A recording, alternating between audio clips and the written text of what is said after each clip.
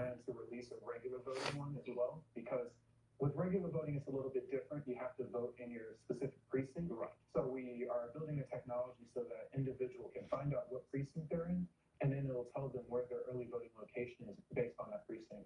And of course, for more people who would like to find out more information about text to polls and your text bot, where can they go to see that, or should they just text the number? They just text eight three two five five eight eight three zero six, and it'll guide them through the process.